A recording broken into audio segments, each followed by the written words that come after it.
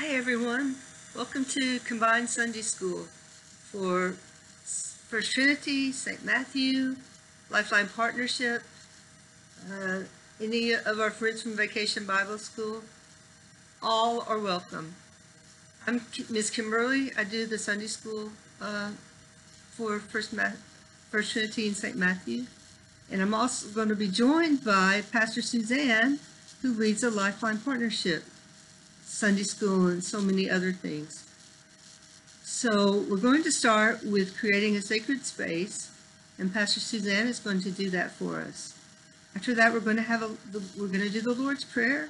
Then we're going to have a Bible story, and we'll also have some send you some fun things that you can work on at home. So um, I'm really excited about our new format, and I hope you like it.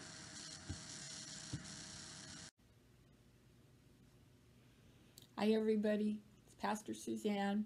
I'm down here in the First Trinity Fellowship Hall in what we call the Sunday School room. So, before, in normal times, you all would come down here on Sunday morning, and Miss Kimberly would have a story for you and activities to talk about the story, and you would she would have questions, and you would all work together to try to figure out what the Bible story means and what it means for you. So we're still going to do that today, except you all are in your own physical space, and we're going to be in our physical space. But we can still come all be together in one space by doing what I call making sacred space. So one of what one of the ways that we do that is by lighting a candle. So here's an electronic candle. I'm going to turn it on and you can see the glow. And that reminds us that the Holy Spirit is here with us. So we're all together in the same space, even though we're physically apart. And the Holy Spirit will be here with us to help us to listen to the story, to talk about what we think it might mean for us, and then to try to figure out what that means when we walk back out the door. So let's get started.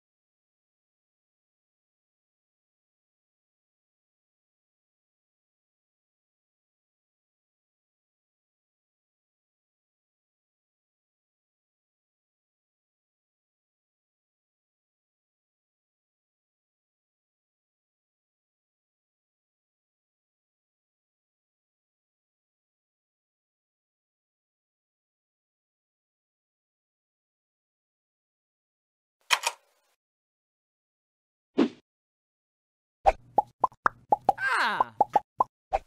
Ta-da! Hi, Becky. Todd, have you received any online messages from Tina lately? You mean her daily kitty quotes? I'm talking about the top 10 list concerning Joey and how lame he is.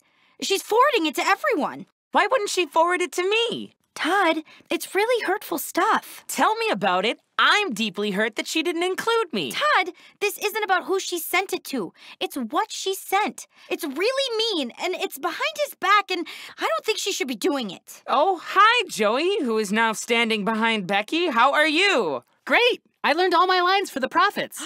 That's so great, Joey! You're great. You have so many winning qualities. No one thinks you're lame. No one! Um, thanks.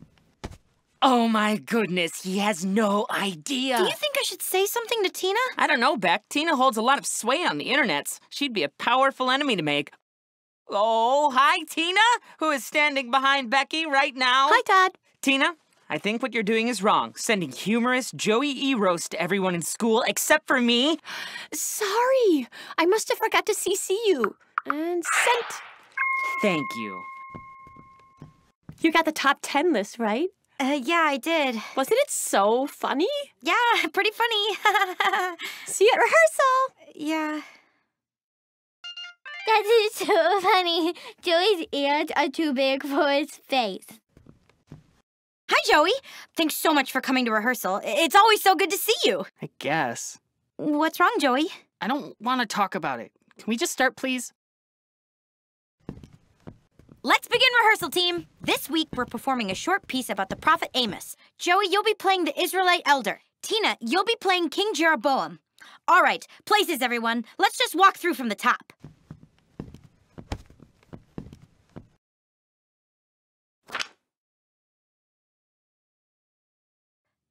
Joey, you have the first line? Oh, sorry. Um, uh, I, I better just do this with the script. That's number three. Number three on the list. Joey forgets all his lines. Todd! Joey, what's wrong? Where are you going? I'm just not feeling well.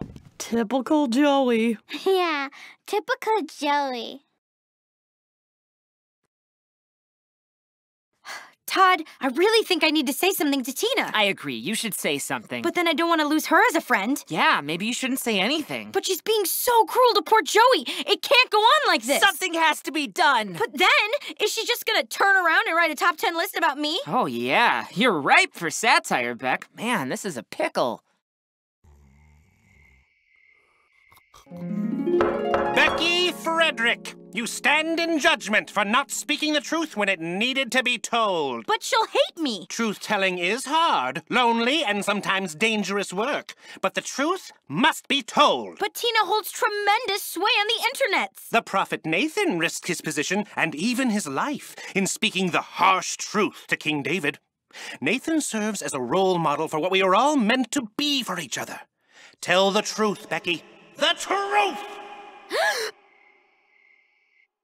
Woe to you who long for the day of the Lord. Why do you long for the day of the Lord? Why do you say these things? The Lord asked me to say the truth, though you do not want to hear it.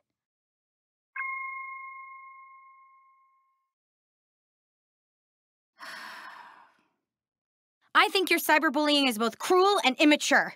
Grow up, Tina. Your words hurt people's feelings. And Joey is a perfectly nice young man who is certainly not lame. Quite the opposite, in fact. Joey's quite. Ladies and gentlemen, we are experiencing some emotional difficulties and the play will not continue. Never fear, I have 75 minutes of untested stand up comedy that I have prepared for just such an eventuality. Joke number one Does Moses drink instant coffee? No, he brews it. Moving on. Tina, wait! I can't believe you did that! We're not friends anymore! Hm.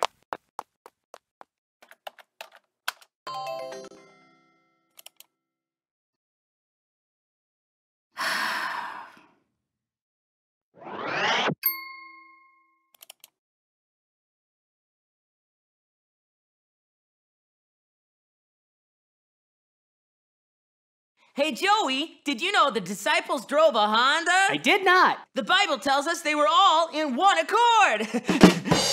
hey, Joey, Yeah, Todd. how would you like to have a new boat? I'd love it. Well, I know a guy. Heyo!